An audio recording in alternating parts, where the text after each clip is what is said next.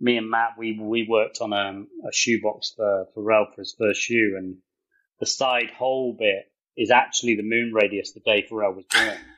Um, no one obviously knows that, and obviously people know that now. I've just released it, but it was just something between me, Edward, uh, the designer, now the creative director of Humanrace, and Matt. And it was just a lovely little touch point that we wanted to do, and it it literally came from days working in a stockroom and seeing all those boxes lined up, and you have a hole, and we were like, oh, okay, well maybe we'll make it more romantic, and we were like, what was the moon radius the day Pharrell was born in Miami? Types it.